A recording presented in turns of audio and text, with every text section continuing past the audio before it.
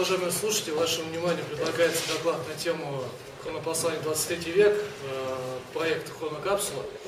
Значит, в декабре 2014 года на ежегодных чтениях Космопоиска была высказана идея провести сбор коллективной информации с целью ее записи, э, сохранения и передачи в будущее, то есть будущим поколениям, а конкретно нашим потомкам в 23 век. Соответственно, дата назначения у нас получается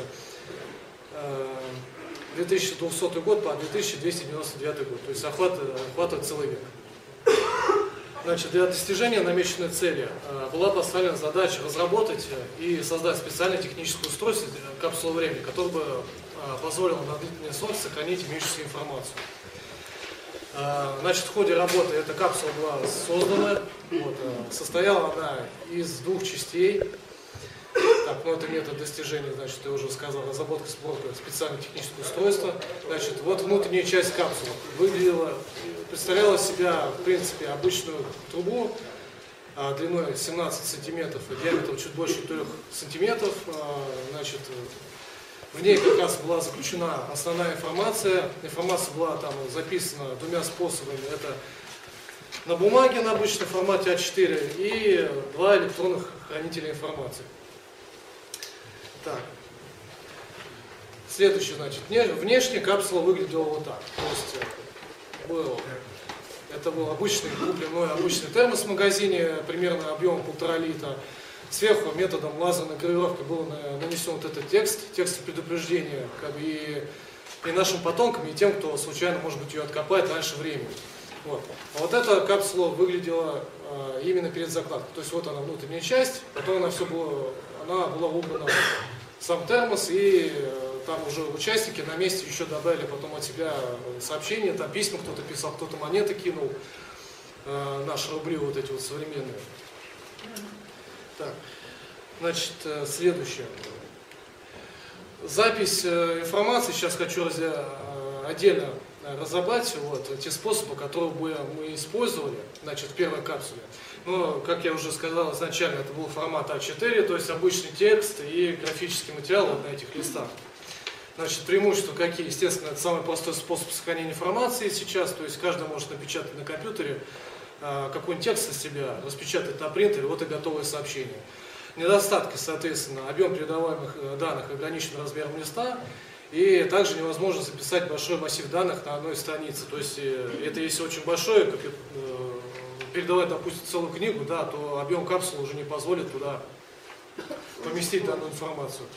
Следующий, значит, э, способ был, соответственно, запись текстовой информации и графических данных аудио-видео на съемные электронные носители, которые называются по-другому USB-флешки или просто флешки. Преимущество, значит, доступность, доступность технологии, то есть э, каждый человек может сейчас купить в магазине флешку любого объема. Малые габариты носителя – возможность записи большого объема данных. Вот, то есть сейчас э, электронные носители, как правило, минимум продаются по 5-10 гигабайт. То есть э, если брать текстовые какие-то материалы, книга там может целую библиотеку записать. Недостатки данного способа, вот как раз, э, когда вот этот проект разворачивался, тут было очень много споров по поводу этих флешек. Тут я, как говорится, не против того, что они имеют свои недостатки, вот я их сейчас рассматриваю. То есть средний срок хранения данных от производителя, как правило, составляет 15-20 лет. Правда, стоит э, сказать, сделать отдельную ремарку, что это вот эта дата, она больше подходит к оптическим дискам, то есть CD, MP3, Blu-ray, то есть 15-20 лет это срок хранения именно на этих дисках. Что касается флеш, так как они появились немного позже, и я думаю, ни один человек еще не проверял работоспособной флешки спустя 15-20 лет. То есть сказать здесь, э, сохранится она данные или она их не сохранит, сейчас нельзя. Поэтому, когда была запись э, информации именно для капсулы времени, тут уже исходили из того, что может быть какая-то информация дойдет. Вот. Тем более вся информация дублировалась. Там э, как минимум на двух, носи, на двух носителях информации. То есть там была SD-карта и, и USB-флешка. А второй недостаток – это устаревание интерфейса, соответственно, к этому времени э, вся вот эта технология, которой мы сейчас пользуемся, уже будет э, находиться в музее. С другой стороны, вполне возможно, что в каких-то лабораториях или специальных учреждениях будут э, подходящие интерфейсы, либо на крайний случай их смогут собрать. Это вот точно так же, как сейчас, допустим, есть любители слушать виниловые пластинки. Казалось бы, вот эта пластинка уже устаревший носитель информации, но есть оборудование, которое с помощью лазерного луча может проигрывать пластинку хоть столетней давности. Поэтому я предполагаю, что будет также какое-нибудь специализированное оборудование, которое вполне, может быть, вот эти вот наши электронные носители информации смогут считывать. Ну, почему бы и нет. Еще, на, еще один недостаток – это подверженность мощному электромагнитному излучению. То есть, то, если там произойдет какая-нибудь выброс какого-нибудь поля мощного, то, естественно, это может повредить информацию. Но будем надеяться, что она закопана под землей, будем надеяться, что там она под защитой находится. Так, Следующий способ записи информации был предложен, мне вот участник появился недавно, еще один, который мне очень активно писал письма, там стихи собственного производства. Вот, он предложил следующий способ записи информации, то есть тоже на э, листе формата А4, но с помощью QR-кода. То есть это вот этот код многие могут видеть и на рекламных листах, и на визитках. То есть чем он удобен? То есть это возможность куда больше записи куда больше объема информации на тот же самый лист А4, то есть вот этот текст спокойно можно загнать в компьютерную программу, вот она переведет все это вот в этот квадратик, а размер квадратика можно делать каким угодно. То есть вы можете делать очень маленьким, и, соответственно, на один лист можно записать куда больше печатной информации. Вот. Э, также, ну, способ удобный, способ удобный и быстрый, только единственный недостаток, конечно, нужна дешифровка. Сейчас это дешифровывается с помощью тех же компьютерных программ, которые ставятся на смартфоны, либо планшетники, фотографируется вот этот вот QR-код, э, и программа автоматически расшифровывается. С другой стороны, вот, э, в той же самой Википедии есть описание того, как этот код расшифровать без использования технических средств. Соответственно, все эти ключи и способы я помещу отдельно на листе в капсулу. Я думаю, что у потомков не возникнет особых проблем как-то расшифровать это все дело. Так, вот, вот этот способ будет, вот сразу говорю заранее, сейчас готовится вторая капсула, которая будет, э, скажем так, помещена в музее, ориентировочно в июле следующего года. Скорее всего, в августе. В августе даже, да? Ладно, это отдельно. Так, вот, и вот этот способ будет активно использоваться. Следующий момент, вот, э, есть идея изготовить третью капсулу, только на более высокотехнологичной основе, если получится и на более прогрессивных носителях информации. То есть вот э, пару раз встречал уже э, вот эту информацию о создании нового хранителя информации, я где-то пару раз уже встречал в сети, вот сделал скриншот с одного сайта, который посвящен как раз вот новым разработкам, которые проводятся у нас в стране. Вот. Э, недавно вот, наши ученые создали вот такой диск. Что он из себя представляет? Вот маленький диск, сделанный из кварца. А, записывается так же, как на, на оптический, то есть метод записи лазером, только с той лишь разницей, что на современных дисках запись идет на поверхности, а, поверхность вот этого диска, то есть э, минус в том, что любая царапина может повредить информацию, а вот на этих дисках запись происходит, э, там слой находится внутри, то есть э, внешний слой защитный, а запись происходит внутри, то есть идет дополнительная защита от деформации. Второй момент, то, что этот диск по э, верениям разработчиков может хранить информацию где-то в течение нескольких сотен лет. То есть это идеальный хранитель информации как раз для капсулы времени. Вот. И э, третий момент, конечно, да, он компактный, как раз даже вот эту капсулу, которую мы сейчас разрабатываем, как раз бы влез. Вот. Единственный, конечно, недостаток, то, что он пока не даст, этот носитель информации недоступен в широком, ну, не находится в широком доступе. Надеюсь, что день хотя бы в течение нескольких лет, может быть, что-то подобное и появится на полках магазинов, и можно будет его использовать. Так. Значит, сбор информации происходил среди различных слоев населения, проживающих не только на территории России, но и также на территории э, других стран. Вот я сейчас покажу географический охват. Значит, это красным отмечены э, те населенные пункты, откуда мне приходили письма. То есть и по электронной почте, и по средствам социальных сетей, ВКонтакте. А, также есть города, когда, откуда приезжали люди, вот перед закладкой капсулы у нас была экспедиция на место закладки. Закладка произошла вот, под Жирновском, Волгоградская область.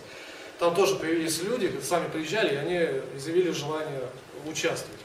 В общем, как видно, охват здесь большой, вся европейская часть России, дальше идет Сибирь, плюс еще э, один год сюда не влез, одна женщина написала из Северска, это Томская область, то есть э, фактически не хватает только Дальнего Востока. Также я, у меня, мной было получено три сообщения с территории Восточной и Центральной Европы. конкретнее, с города Брест, Беларусь, из села Ленинска, Днепропетровской области Украины. И одно письмо пришло с территории Европейского Союза, а именно с небольшого городка Старконицы, Чешской Республики. То есть вот на основании всего этого можно сделать такой вот итог, что проект «Капсула времени» вызвал большой интерес у людей различного возраста и занятых в различных сферах деятельности. И также, учитывая географию проживания участников, можно констатировать тот факт, что проект вышел за пределы страны и стал, по сути, интернациональным. Так, и, ну и здесь хотелось бы сделать как раз повторное объявление о том, что сейчас объявляется сбор информации для новой капсулы, вот, которая, как сказал Вадим Александрович, будет Э, помещена в музее примерно в августе следующего года. Вот это два э, электронных почты, вот это основной там капсул 23, вот это запасной. Это моя электронная почта, куда может э, по желанию, кто хочет, может прислать свои данные, так сказать, обращение к потомкам и, и обязательно для дублировать всю информацию на адрес космопоиска. Вот, если хотите, можете скопировать, либо я вам дальше дам эту информацию, запишите. В принципе, отдельно, конечно, хотелось бы, э, так как проект прошел успешно, хотелось бы выразить благодарность всем тем, кто принимал в нем участие, кто, кто на месте писал сообщения, кто присылал письма. Вот. И отдельное спасибо Вадиму Александровичу за предоставление материала для этой капсулы, а также для, за поддержку этого проекта. Ну, у меня все. Еще раз э, покажите имя сайта и что у вас Не сайт, это электронная почта. А, электронная да, да, да, да. Два верхних это мои, и нижний это ну, адрес нашей организации Космопоиск. Вот ошибки написано. А, на всякий случай мы да. э, Я взял, взял у Вадима Александровича. Объявление об этом мы продублируем завтра. Он аналогичен До чтения не хотели этого делать, а после уже можно. Да, исправьте, тут говорят, вот после собаки космопоиск, так и пишет космопоиск.орг. Там ошибка произошла. СССР, да. Без СССР, да. Ага. Извиняюсь. Извиняюсь, я просто скопировал эту информацию, не обратил внимания. Верхние все электронные адреса, они все правильные. Тут можете спокойно записать. Еще вопросы, врачу? Существует на самом деле намного больше проблем, чем вы писали, потому что э, сейчас существующие э, виды бумаги, они химически обработаны так, что они просто рассыпятся. Вот, хотел сказать, извиняюсь, я забыл сказать, что вот сейчас покажу. Вот эта внутренняя часть, сама вот эта капсула, да, для сохранения то, той бумаги. Все понятно, все понятно. Да, там был за, за, закачан инертный газ. Вы, вы, да, вы, там инертный газ, там я все подумал. Нет, да. вы, вы поймите, что да. Все компоненты, которые будут заложены в эту капсулу, они могут тоже между собой взаимодействовать, люди химические и так далее. И они могут просто-напросто сами, сами друг друга повредить. Раз. Во-вторых, э, помимо всего прочего, вам нужно еще помимо информации вкладывать технологию обращения этой информации, потому что э, американцы просто свои Space Shuttle, они просто-напросто пришли в никуда, в них все осыпалось на электронных носителях. Когда это было? 86 год, извините, пожалуйста. Что это такое? Уже приехали, а вы зацелились на дальше. Дальше. Значит, э, существует, э, вот э, вы правильно показали QR-код, но QR-код это не что иное, как ссылка. Это, грубо говоря, смотри, на улице Воздушный, дом 3. А что там на улице Воздушный? Он приходит, вот библиотека Ленина. Ах, ну вот, ну что делать Это вот эта ссылка, это не что иное, это не, это не информация, это просто указатель. Нет, нет, можно. Вы, вы все, да, вопрос задали. Первое, вот я еще раз говорю, вот эту вот капсулу внутреннюю был заканчивать инертный газ. Специально для того, чтобы сохранить бумагу и все, что там внутри находится, при случае с инертным газом она как раз сохраняет все на лет так на 300, всю информацию внутри. По поводу взаимодействия, там обычный бумажный носитель, запечатанный файл, и два электронных носителя, которые между собой не взаимодействуют, они сделаны из пластика. Там никакого взаимодействия быть не может и так, и так. Вот. Все, что находится металлическое, оно снаружи находится вот этой капсулы, там вот эти металлические предметы, они снаружи никак не, там не воздействуют на носитель информации никак. А с электронными носителями существует такое понятие, как по, самый, по, по переход, это вот хитрый, mm-hmm. ну, самый, диодный, да? И вся элементарная база, какая бы она вот, э, как бы хорошо она сделана не была бы, она просто перестает иметь место быть где-то лет через 5-15-20. Свою элементарную базу я, я вот по 15-20 лет уже сказал, но это ближе к оптическим дискам. По поводу этого говорю, здесь 50 на 50. Да, либо дойдет, либо не дойдет. Либо они смогут ее как-то установить, эту информацию. Это не дойдет. Вот, потому что, э, тем более, вся эта информация с этих капсул, я ее не стираю, я ее перезаписываю, буду перезаписывать до тех пор, пока не появится вот этот, например, классовый диск или какой-то другой более надежный носитель информации. Вот, все, все просчитано. Так, по поводу QR-кода. Э, не совсем верно, что это ссылка, потому что если вы пробовали фотографировать, например, визитку, там появляется информация владельца. То же самое. Вот мне присылали письма, да, вот в обычном там волдовском формате, либо посредством этих почтовых э, сервисов. Я этот текст брал, я его э, переносил на программу, и он мне переводил все вот в этот QR-код в квадратик, спокойно, нормальный текст. И может также обратно, если вывести, получится то же самое. Он кодирует все. Это не только ссылку, он кодирует любую текстовую информацию. Поэтому здесь, э, наоборот, это один из самых лучших способов кодирования. Единственное, конечно, я еще не все разобрался, можно ли графическую информацию так закодировать. Вот. Поэтому я, конечно, вот эти нюансы, которые вы э, огласили, я все это учитываю, учитываю, и, естественно, мы все это подумаем. А можно вопрос? Да. А какую, собственно, информацию вы туда? Кто как. Я, например, послание от себя. И видео записал, и текстовая информация, что-то интересное о нашем времени, о нашем поколении, какие-то там философские размышления о будущем. А один вот э, мужчина, который мне предложил QR-код, он из Асахи, например, он присылает э, стихи, посвященные своей девушке, возлюбленной. Уже где-то 20 стихов прислал. Говорит, может быть, в будущем они пригодятся. Вот, там творческая натура такая. Кто-то присылает, там, например, вот я такой-то, такой-то, учился там-то, там-то, вот, э, школу закончил там-то, вот, служил в армии, и это там, ну, какие-то наваждения, там, ведите себя хорошо, там, не воюйте друг с другом. И куча фотографий, как он с друзьями там пиво пили, как там с армией или еще что-то. Там, там разная информация.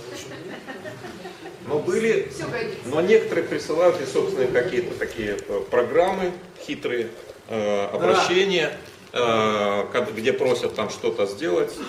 Очень Литературу, интересно. например, какую-то лекцию интересно. Там, вот Вадим Александрович э, несколько своих книжек скинул, допустим, да, может быть будет интересно, почему и нет. Ну, тут разнообразная информация. Там, там главное, вот, любую информацию, это хорошо, потому что, чтобы характеризовать, э, характеризовать наше поколение. Это не какой-то официоз, который будет в музеях лежать или вот, э, ну, где-нибудь там в архивах, да, там, например, где-то что-то открыли, запустили. Тут нужна именно информация, которая показывает там, ну, ну, психологию нашего поколения, чем мы интересовались, как мы жили. Наше вот это время, нам, да? да, наше время, которое характеризует. Поэтому любая совершенно информация, но главное без похабщиваться. Мы много э, обсуждали, э, что выбирать, и в конце концов пришли к выводу, что цензурировать мы не имеем права, ну, кроме действительно откровенной похабщины и мата. Все остальное на ваше Никаких фильтров особых не сделали. Э, да, по принципу, что мы не вправе считать, что мы лучше знаем, что нужно будущем. Ну тут один момент, там были шутники еще, но я их сразу фильтровал, естественно, потому что там никакого смысла не было этого ничего передавать. Если показать, что у нас такие дурачки жили в нашем мире, если только в этом плане. А вдруг именно они и будут считаться Интересно были, да. А на исконных там вот э, видах э, на бересте, например, ну, ну, ну, а что вы туда запишете? Мне знаете, вот когда вот это ну, по поводу... кратко, ну тоже интересно же. Да, я знаю, по поводу электронных носителей информации, когда вот спорт уже был, вот мне задали вопрос, и там предлагали чуть ли не гранитную плиту сделать, там написать, я говорю, ну, короче, хотите делать, вот что там напишите? Родился, жил и умер, как на кладбище, что ли? Что, там ограничено объем, и как вы будете? Во-первых, там нужно ее резать, во-первых, ее нужно транспортировать, куда ты его положишь, и, и что дальше? Что ты передашь? Тут нужен большой объем информации, нет, понимаете? Нет, нет, нет, нет, нет, ненадежно, ненадежно. Вот, понимаете, надо еще показать, что у нас был хоть какой-то технический уровень. Ну, можно там, да, э, на скале выбить рисунок. Ну, и что, что там, Спартак чемпион напишет. Отличная информация. Сразу там увидит, да, 21 век. Вот. Поэтому нет, э, я стараюсь, как говорится, на более надежных и более высокотехнологичных вот этих способов использовать. И вот тот минус вот этих электронных носителей информации, да, потому что средние 15-20 лет, тут непонятно, доживет эта информация или нет и смогут ли они ее в случае чего восстановить. Но дальше вот появятся вот эти кварцевые диски. Если попадет мне в руки, замечательно, я хоть, хоть 10 капсул еще наделаю. То есть, и тем более вся эта информация сохраняется, которую мне присылают. Я говорю, я буду ее постоянно перезаписывать. Она никуда не денется. До нас дошли только рисунки на фотонаска. Да. Никакие диски не дошли. А Ну, если да, ну дошли, как? то мы не знаем, как Какие-то их диски, да, какие-то диски дошли, но вопросы. Ну, пирамиды дошли, но мы не знаем, как, для чего они, как они. Там инструкции к применению к Не, пирамидам не было. оставили. Тут инструкции будут, тут все Либо мы порядке. не умеем их расшифровывать, они, может быть, тоже в QR-кодах запечатаны. А вот такой вопрос. На времена Хрущева была практика оставлять тоже капсулы потока. Да. А, И сейчас она никуда не делась. А, э, то, а какая сейчас там технология использовалась? Ну, Там что использовано? Наипростейшее. Там, по-моему, да, там э, текстовая информация, книги, какие-то письма, потом сверху табличка ставила, что это там Просто ком- комсомольцы начало. заваренная, более или менее герметично заваренная капсула Да. в лучшем случае. Да, да, да, там либо тубус какой-то используется, то есть там э, и табличка Иногда сверху. даже просто завинчена. Да, там комсомольцы середины 20 века, комсомольцы начала 21 века и так далее. Вот. А сейчас, последний, вот, Владимир Александрович есть... Некоторые скрыли, некоторые до 2017 года еще. Вот Владимир Александрович есть целый альбом посвященный. Сейчас вот то же самое. Какое-то новайское предприятие, например, капсулу времени тоже запечатал, вот как, как и мы, термос э, до где-то начала 22 века. Есть еще и до конца 21 То есть это все продолжается. Вот 23 век, по-моему, мы э, космопоиск самый первый охватили. Именно 23 век. Ну, Потому что Хронокапсулы действительно это не наше изобретение, Да, но, э, но технологическое, вот эти все моменты, про которые докладчик говорил, действительно до нас, судя по всему, никто этого не касался. Все посылали просто бумажные носители. Просто бумага, да, обычно. То есть там на сто лет, допустим, еще там, как там в этих металлических ящиках каких-то или другим способом. Вот. То есть никто, как, как мы, никто так не заморачивался на способом передачи, как бы ее сделать так, чтобы там все сохранилось, все красивее было.